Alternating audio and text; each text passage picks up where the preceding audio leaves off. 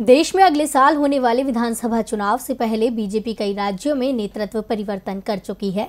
Party का कहना है कि यह हमारी रणनीति है, लेकिन विपक्षी दल इसे हार का डर बता रहे हैं।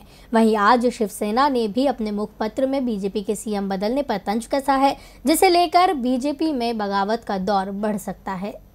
राजनीति की प्रयोगशाला में बीजेपी नए नए प्रयोग कर एक बार फिर आगामी विधानसभा चुनाव में जीत के सपने देख रही है। यही वजह है कि बीजेपी ने कर्नाटक से लेकर उत्तराखंड और गुजरात में सीएम का चेहरा ही बदल डाला। लेकिन इस नेतृत्व परिवर्तन को लेकर बीजेपी विपक्ष के निशाने पर आ गई है।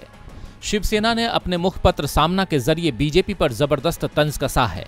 सामना में छपे लेख में कहा गया है कि जेपी नड्डा को बीजेपी का राष्ट्रीय अध्यक्ष बनाए जाने के बाद से पार्टी में लगातार बदलाव हो रहे हैं।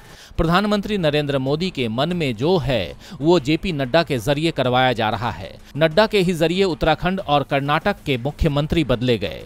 गुजरात का मुख्यमंत्री भी एक झटके में बदल दिया गया। मुख्यमंत्री भूपेंद्र पटेल पहली बार ही विधायक बनने वाले नेता हैं, लेकिन अब मोदी और नड्डा ने ऐसा झटका दिया है कि राजनीति में कुछ भी असंभव नहीं है।